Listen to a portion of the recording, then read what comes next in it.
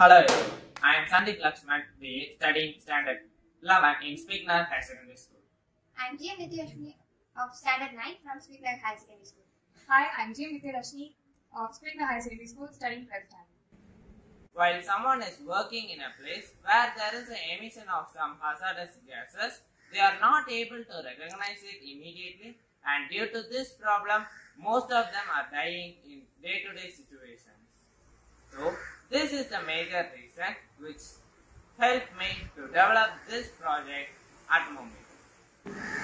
Atmometer is a portable weather station and a gas leakage detection station. VSD MQ2, MQ135 and DHT11 sensors, then LCD 16 into 2 display and Arduino Uno board. MQ2 sensor is used to detect LPG gas, smoke, uh, various gases and MQ135 sensor is an air quality sensor which detect uh, benzene, uh, alcohol, methane, enzyme and etc. Then DHT level uh, 11 sensor is a humidity and temperature sensor.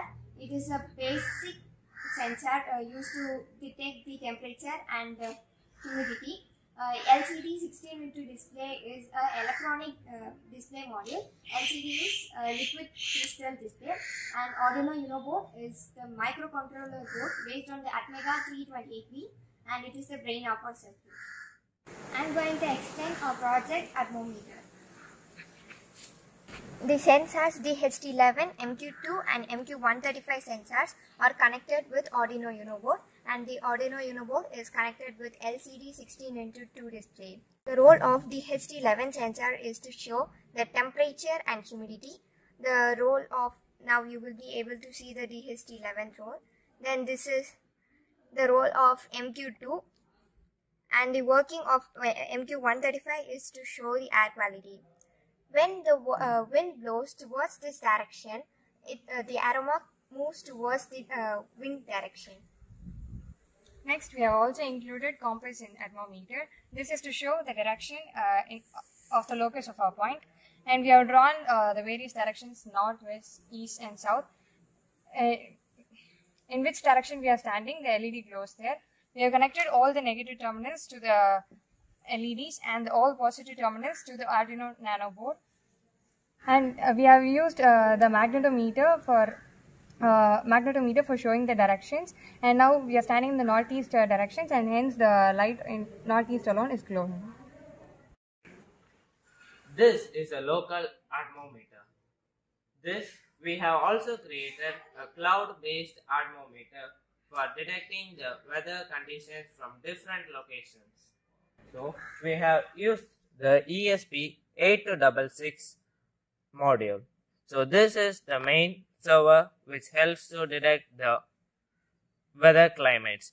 We have used the ThingSpeak uh, which is an open source used for uh, detecting some of the values. So here we have created a channel with the name Atmometer and we have also included the fields which are required for the Atmometer.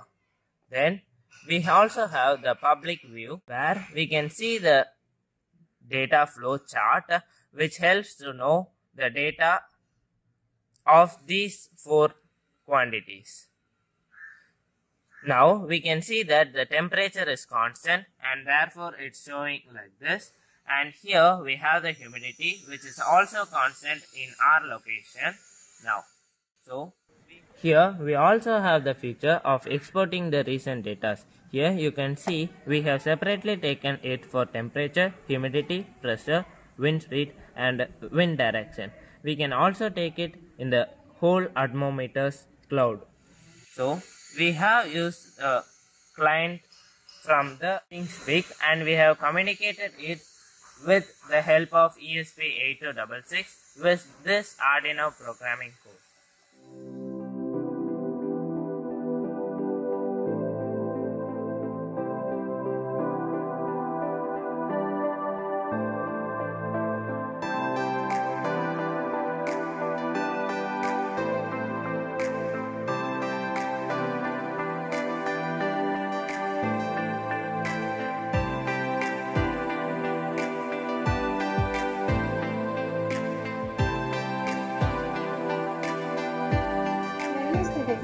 Atmometer are first wireless communication using ESP8266. Then we have used Arduino IDE, IDE for programming Arduino UNO, Arduino Nano, and ESP8266. Then we have used uh, and generated the API code using the Open Weather Map. We have used ThingSpeak for cloud-based atmometer. And then functionalities of an atmometer are as follows. Uh, atmometer is basically uh, a portable device and we have used that for uh, detecting the prevailing conditions uh, surrounding us. First, it is uh, used to detect the climatic conditions, that is like temperature, humidity, and uh, any toxic gases around us. And this would be useful in most the traveling places or unknown places or uh, any other dangerous places too. Next thing is it can also be used in smoke detection such as carbon monoxide and so on. Uh, and thus we can many damages or injuries due, uh, due to the uh, leakage of uh, any harmful gases. And also we have used the compass here, due- which can help us to uh, direct our direction, or we can be, uh, and we can take that in uh, all the places, and we can know where we are, and uh, we it helps us to be safe in the surroundings. A totally atmometer helps us to be uh, more safe, and it gives us a secure uh, security in any unknown conditions or in any unknown places. And my role in this project is I have uh, program I have made the programming for this uh, atmometer. I made the electronic circuit. And myself made the 3D cases and the outer of this project. Thank, Thank you.